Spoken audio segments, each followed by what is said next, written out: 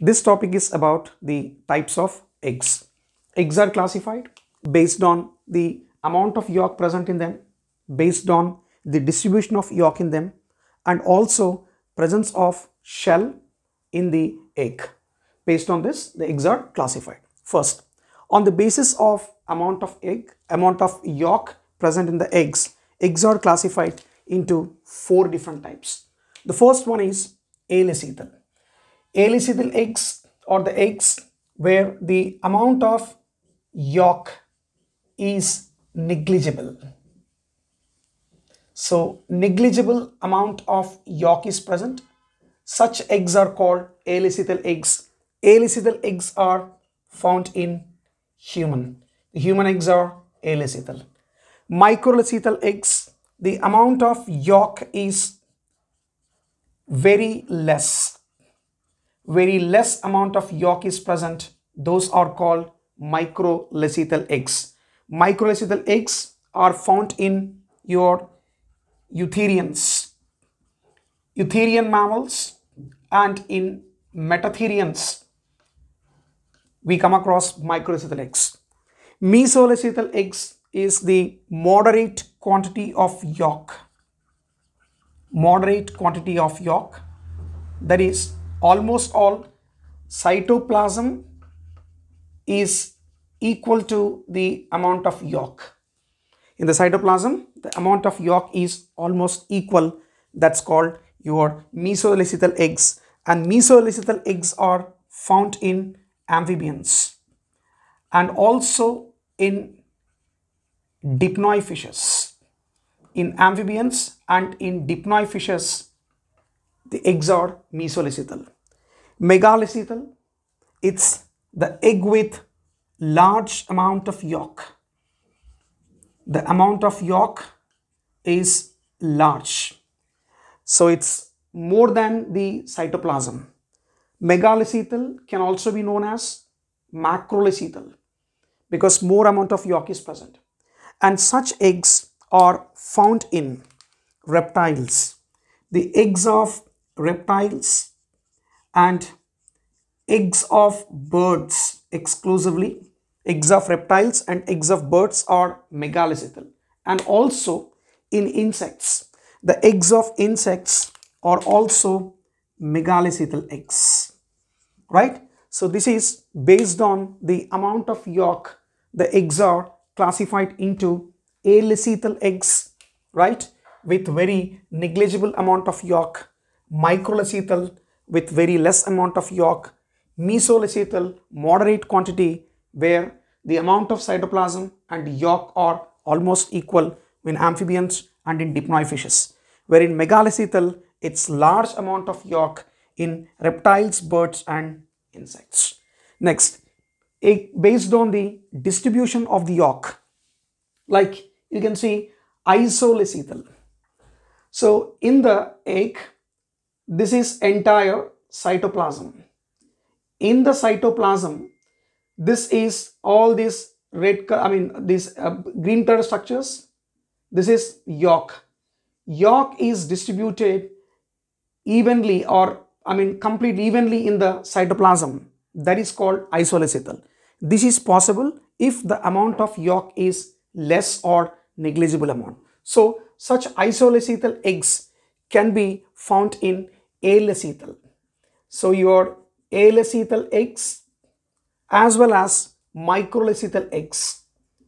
Alecithal as well as microlecithal or isolecithal where amount of yolk is very less or it's negligible amount so their distribution in the cytoplasm is a very I mean evenly distributed in the cytoplasm it's called isolecithal. If the yolk is unevenly distributed in the cytoplasm it's called telolecithal. With the even distribution we call isolecithal equally distributed. Uneven distribution is called telolecithal. In telolecithal they are moderate telolecithal and discoidal. In moderate telolecithal, so one side of the egg is with cytoplasm and the other end of the egg is with yolk. Where cytoplasm is concentrated, that part of the egg is known as animal hemisphere. This is known as animal hemisphere and where yolk is concentrated that side of the egg is called vegetal hemisphere. This is animal and vegetal hemisphere. If you consider this is spherical, I can say that on the top of this animal hemisphere, this is generally what we call it as animal pole. And at the opposite end, this is known as vegetal pole. So these terms are important when you study cleavages, right? So this is moderate telolecithal where yolk and your like uh, cytoplasm are distributed at different portions. Like where uh, cytoplasm is present, that becomes the animal hemisphere. Where yolk is present, that's called vegetal hemisphere. Next, discoidal. In discoidal type of eggs, where cytoplasm is present in one end in the form of a disc in the form of disc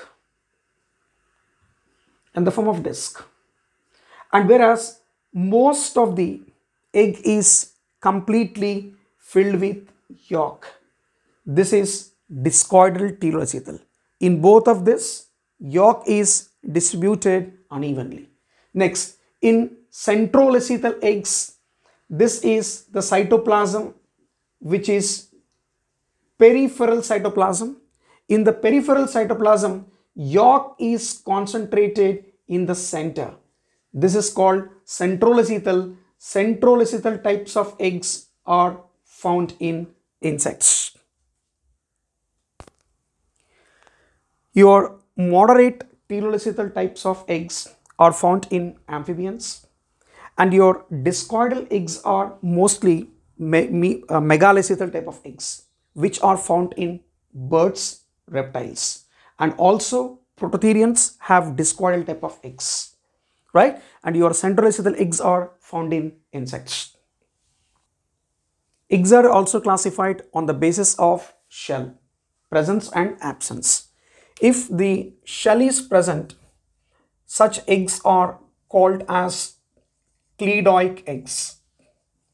So in cleidoic eggs they are covered by hard shell. So if hard shell is present, the eggs are called cleidoic eggs. These eggs have an adaptation for terrestrial mode of development. Those all the eggs which are adapted for terrestrial mode of life. So they have hard shell which is surrounding them because this shell protects from desiccation. Such cleidoic eggs are the eggs which are found in reptiles and birds. They have cleidoic eggs and also eggs without shell or non-cleidoic. Non-cleidoic eggs are without hard shell. A simple definition, there is no hard shell. Right, the eggs that are produced by viviparous animals. Mostly I can say that there are mammals, viviparous mammals, sharks also, they are viviparous and some other sharks, right?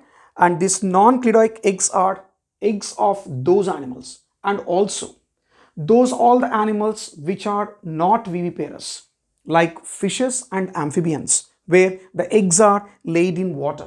Those are also non-cleidoic eggs. So for non-cleidoic eggs, you can take an example of the eggs produced by viviparous animals. All these viviparous animals eggs and also the eggs of fishes and amphibians because in fishes and amphibians the eggs are not laid on land they are produced on produced or they are laid in the water so this is based on the uh, an amount of yolk that is of four types. This is based on the distribution of yolk. This is based on the shell presence and absence. And also there are membranes surrounding the egg. We call them as primary, secondary and tertiary egg membranes. So just we'll have a quick glance on those membranes of the ovum. Egg membranes.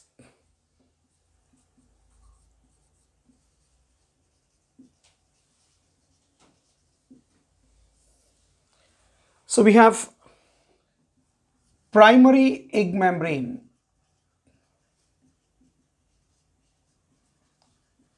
Primary egg membranes. Primary egg membranes are the egg membranes secreted by the ovum itself. Those are known as primary egg membranes like zona pellucida is a primary egg membrane which is non-cellular which is a glycoprotein layer. Next, secondary egg membranes. Secondary egg membranes are produced by the ovary. Secondary egg membranes are those which are produced by the ovary. If an ovary produces the membrane surrounding the ovum, it's called secondary egg membrane. The secondary egg membrane example is corona radiata. Corona radiata is a secondary egg membrane. Other than the ovary or ovum, if the uterus or oviducts, if they form membranes, we call them as tertiary membranes. So generally the tertiary egg membranes include jelly coat, shell, jelly coat and shell or the tertiary egg membranes. Jelly coat and shell or the tertiary egg membranes. So coming to your human eggs, human eggs have the primary egg membrane as well as secondary egg membrane in human eggs. There is primary egg membrane called zona pellucida which is produced by the ovum itself and secondary egg membrane is called corona radiata is produced by the granular cells of the follicle.